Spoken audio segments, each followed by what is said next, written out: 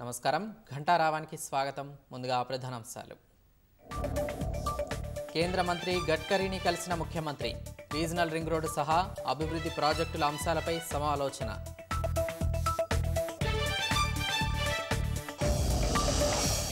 రాష్ట్రంలో ముగిసిన రాజ్యసభ ఎన్నికల ప్రక్రియ.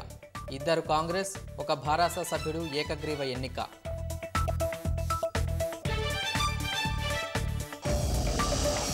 రాష్ట్ర వ్యాప్తంగా భాజపా విజయ సంకల్ప యాత్రలకు శ్రీకారం. మెజారిటీ ఎంపీ స్థానాలే లక్ష్యంగా కమలదళం ప్రణాళికలు.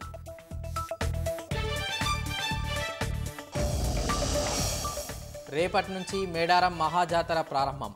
భక్తులకు ఇబ్బందులు లేకుండా అన్ని ఏర్పాట్లు చేశామన్న ప్రభుత్వం.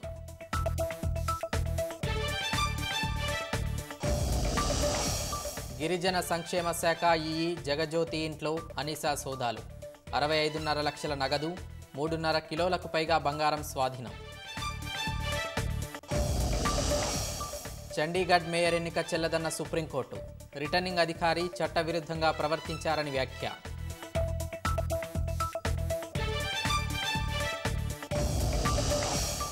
నలభై ఐదు వేల కోట్లతో దేశవ్యాప్తంగా పలు అభివృద్ధి పనులకు ప్రధాని శ్రీకారం. ఐఐటి హైదరాబాద్ క్యాంపస్ ప్రాజెక్టుకు వర్చువల్గా ప్రారంభోత్సవం.